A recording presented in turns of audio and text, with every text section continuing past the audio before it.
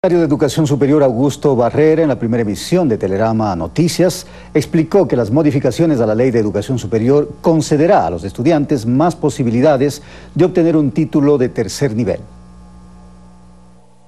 Las reglas con las cuales la nueva ley va a permitir la operación serán a partir de la próxima postulación, es decir, de la postulación costa, digamos, la que se hace entre diciembre y enero. La oferta de cupos públicos que teníamos era aproximadamente de 65 mil cupos públicos.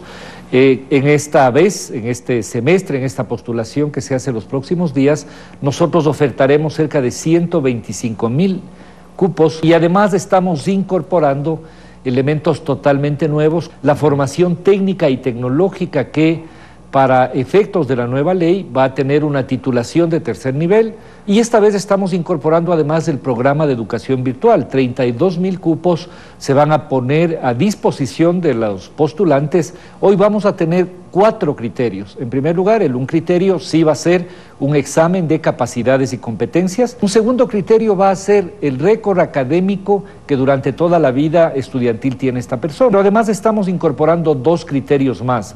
Un criterio de orden socioeconómico. Realmente un último criterio tiene que ver con políticas de afirmación.